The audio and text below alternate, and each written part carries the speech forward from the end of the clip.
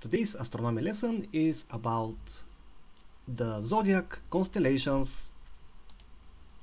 So let's begin with uh, the Taurus constellation, which is, is a zodiacal constellation. And just near it is the Aries, that is my zodiac and I just know that um, graphical representation of those constellations.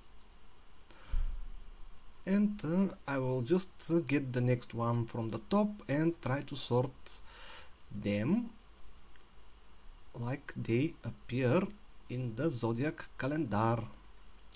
So this is Virgo where is it? Let me see. Virgo hmm. There it is. It is with the sign that is similar to the Scorpio. What is that? Hey there. And while I am in the Scorpio let's see it. There it is. I will just place it here in its sign and get the next one which is Pisces right that is my next favorite zodiac. After Aries we have Pisces. And I just got the Aquarius constellation which I will place after the Pisces its graphical representation is very simple.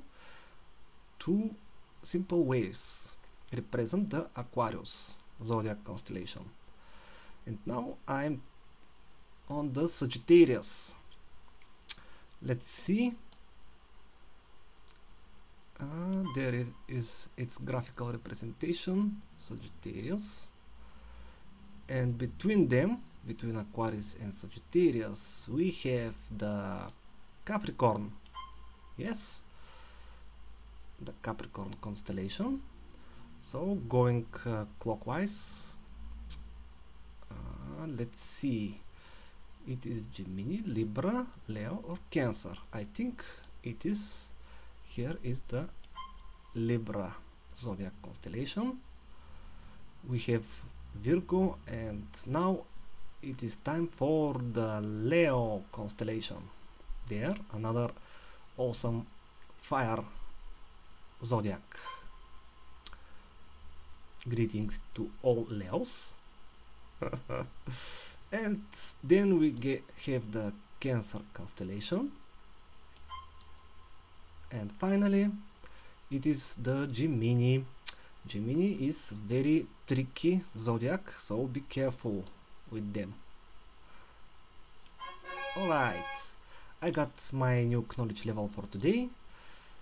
And uh, I'm happy and good to go for gaming